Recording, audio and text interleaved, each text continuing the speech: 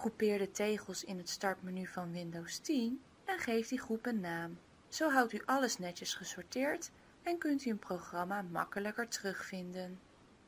Open het startmenu.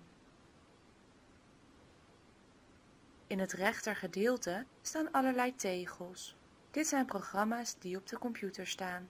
De tegels zijn al gegroepeerd, maar u kunt ook eigen groepen maken van bijvoorbeeld uw favoriete programma's. Zet wat tegels bij elkaar. Klik hiervoor op een tegel, houd de linkermuisknop ingedrukt en sleep de tegel naar een vrije plek. Er verschijnt kort een blauwe balk in beeld.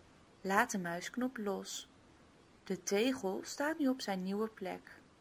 Zet er op dezelfde manier nog een paar tegels naast.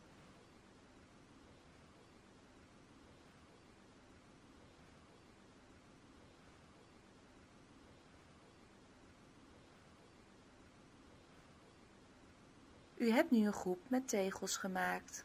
Nieuw aangemaakte groepen hebben alleen nog geen naam. Er is wel een lege ruimte tussen de nieuwe groep en de andere tegels. Hier kunt u een naam invoeren. Ga met de muisaanwijzer over de lege ruimte en de tekst naam aan groep geven komt in beeld. Klik op deze tekst en typ de naam van de groep. Klik daarna buiten het invulveld en de naam is toegevoegd aan de groep met tegels.